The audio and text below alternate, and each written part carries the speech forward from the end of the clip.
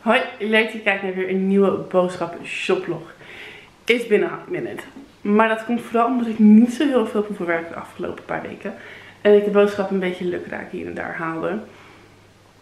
En er dus niet echt één boodschappenhal was. Vandaag wel. In alle vroegte. Dat is misschien waarom een beetje het licht ook een beetje raar, is. Dat is ook de reden waarom het licht een beetje raar is. Behalve dat die lamp het niet doet. Ehm, het is super vroeg. Ik kreeg een berichtje gisteren dat het tussen 8 en 9 zouden zijn. En toen kreeg ik vanochtend, toen om half 8 mijn wekker ging, een berichtje. We zijn er over 10 minuten. Top. Iedere keer. Ik denk van, oh, ze komen altijd vroeg. En dan denk ik, komen ze super laat in het tijdsblok. En als ik denk van, oh, ze komen nu tegenwoordig best wel vroeg in het tijdblok. Dan komen ze weer weg. En Joos. Ze waren er dus gewoon om kwart voor acht. Lekker op tijd. Dus um, het is niet zo heel erg veel deze week. Ten eerste omdat ik tot, um, nee, tot en met woensdag geen kinderen heb. Dus ik heb zeg maar vanavond, morgen en woensdag samen met z'n tweeën. Op vrijdag komt mijn moeder en die kookt dan altijd. En op zaterdag eten we friet met snacks. En dat heb ik allemaal pas bij de Sligro gehaald. Maar ik ga je wel meenemen. Het was 75 euro 10. Als het de eerste boodschappenshop bij mij is, mijn doel is rond de 100 euro te blijven. En dat is sinds de pandemie niet meer gelukt. Kom ik altijd zo rond de 130, 150 euro daar ergens in. Maar nu had ik echt heel erg specifiek gekeken. Wat heb ik precies nodig? Mijn vriezer erbij gepakt. Mijn voorraadkast erbij gepakt. Dus um, super blij met mezelf. Dus ik ga je meenemen wat we ongeveer per dag gaan eten. Als je deze video's leuk vindt, geef deze video dan een duimpje omhoog. En vergeet niet te abonneren op mijn kanaal.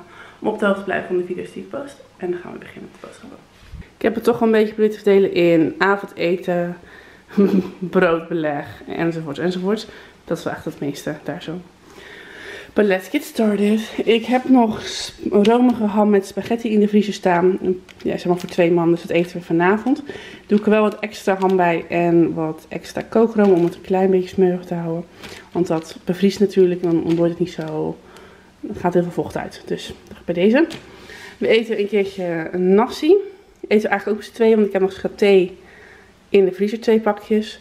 En dit is gewoon, dit is geloof ik 3 voor 2 euro. Ja, is en wat voor nasi we overhouden doe ik dan in de invriezer. En dan kunnen we dan nog een keer eten uh, als ik weer nieuwe satéstokjes koop.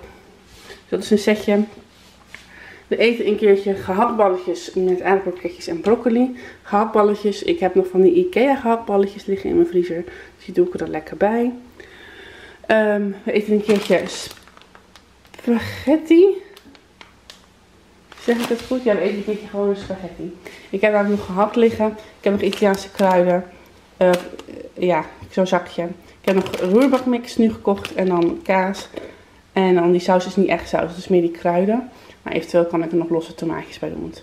Um, Zo'n um, kartonnetje met uh, tomaten heb ik nog. Het is dat uh, van die pomodori tomaten noemen ze dat. Dus dat kan ook. En dan eten we zondag. Um, ik heb nog genoeg rijst. Chicken tonight, de tandoori versie. Ik heb nog kip liggen. En dan doen we er wat sugar snaps bij. Ik heb de sugar snaps uit de vriezer gedaan, omdat we deze pas zondag eten. En vandaag is het maandag. En ik was bang als ik verse sugar snaps zou bestellen, dat die dan helemaal niet meer fris zouden zijn. Dus, en natuurlijk één keertje friet met snacks. En dat heb ik gewoon nog liggen. Um, voor de rest heb ik luchtige crackers besteld, want dat vind ik tegenwoordig lekker in plaats van sla. Lekker komkommertjes, um, kaas, grillworst, boterhamworst, kipfilet, filet americain smeerkaas. Allemaal voor op de cracker en boterhammen en dat soort dingetjes. Maar nu dus geen ijsbergsla of dingen voor installades of zo.